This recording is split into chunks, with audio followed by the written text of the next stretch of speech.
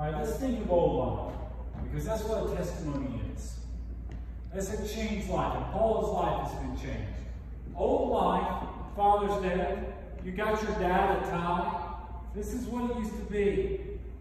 Your dad, you would sit there in the couch with his reading glasses on, with the sports page, and he would sit there and do this. Hours. Reading the newspaper. Reading every single article. Just relaxing and doing that. And this is what it would be like. This is that was that was what men uh, certainly did. That was that's kind of your old life. Your new life. If you do this, this here is what you're now reading off of. This might be what you're watching sports. You're watching your uh, uh, uh, news. You're reading your newspaper. You're sitting there, you might not have your glasses on, and you're reading from a tablet.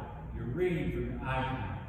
And you can see the difference 40 years ago when folks were reading newspapers in the 19, I guess that'd be 1980, they never would have dreamed by 2020, a generation later, that's actually almost two generations, they would be reading the newspapers, they would be getting their news from something like that. But here's the difference. Here's what's so powerful about this.